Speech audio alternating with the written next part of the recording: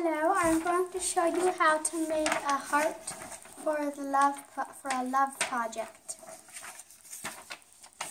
So you take a piece of paper, right, and you fold it in half. Mm -hmm. And then you fold it in half again. And then you fold it in half one more time, right, bud? Uh, yeah. yeah.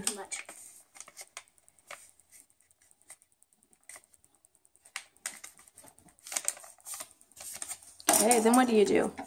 Then you cut a try a little triangle.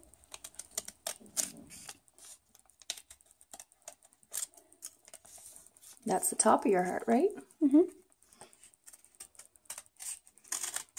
And then what do you do? And then you cut you and then you cut a heart.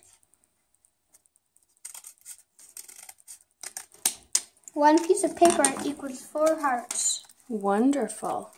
So if everyone's going to make 10 hearts as part of the challenge, they just need two and a half pieces of paper, really, right?